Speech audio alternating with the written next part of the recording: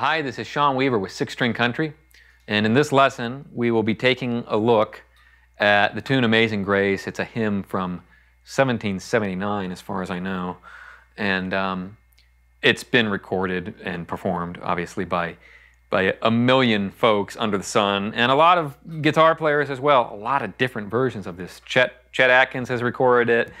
You know, Tommy Emmanuel. I think Pete Huttlinger has had a version. I know Jeff Beck, uh, speaking of some different kinds of players.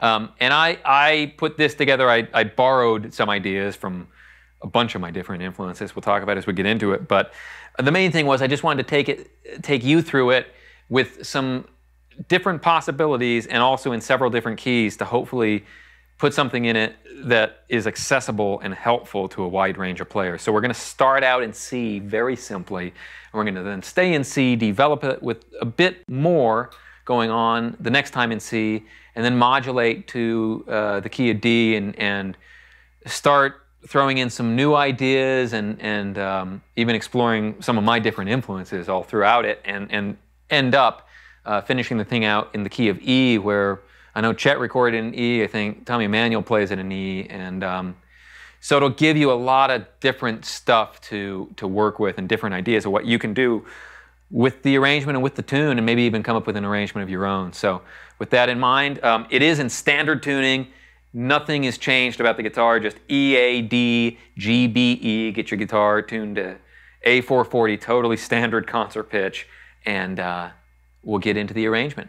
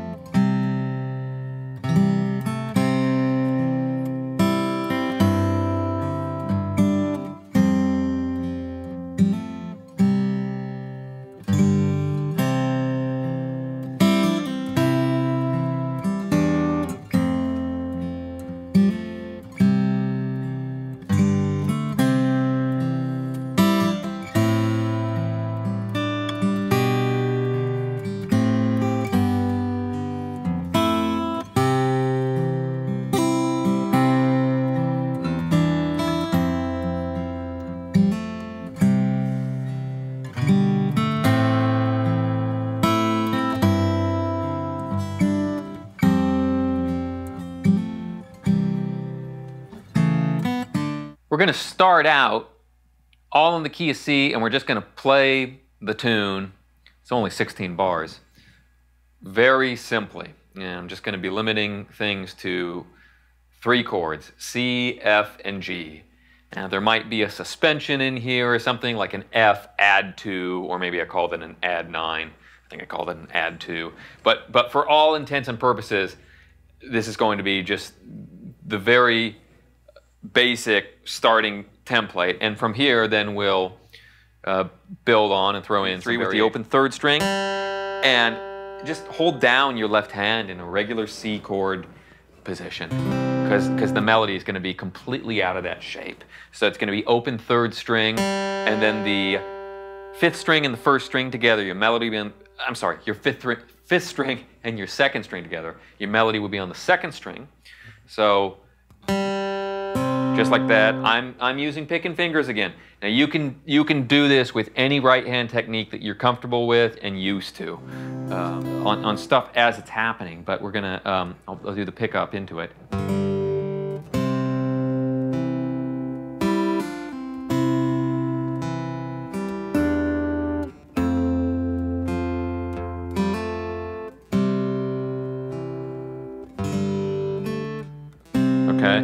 You already see that there's a lot of repetition, but there's some new stuff going on too.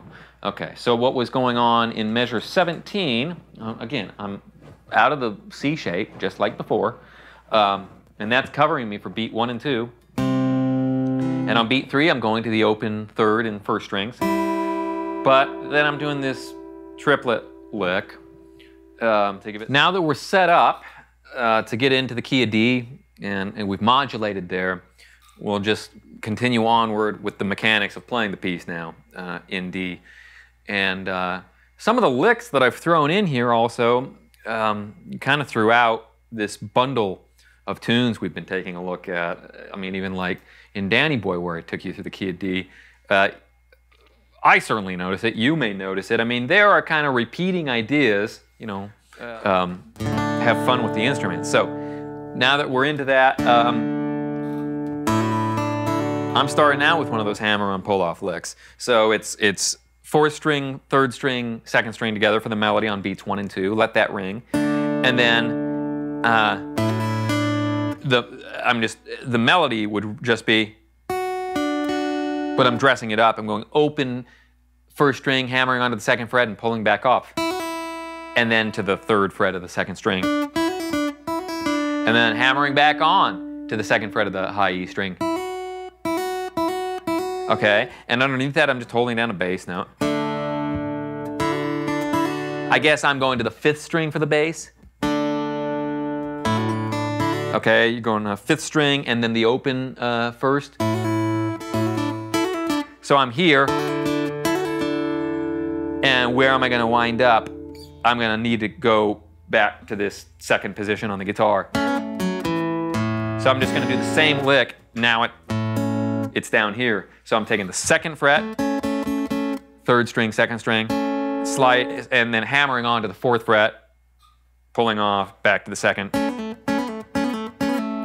and then back to the fourth fret of the, of the fourth string, second fret of the fourth string. And if you want to break this down, this will be like the five second version. It's major pentatonics as far as like theory. And uh,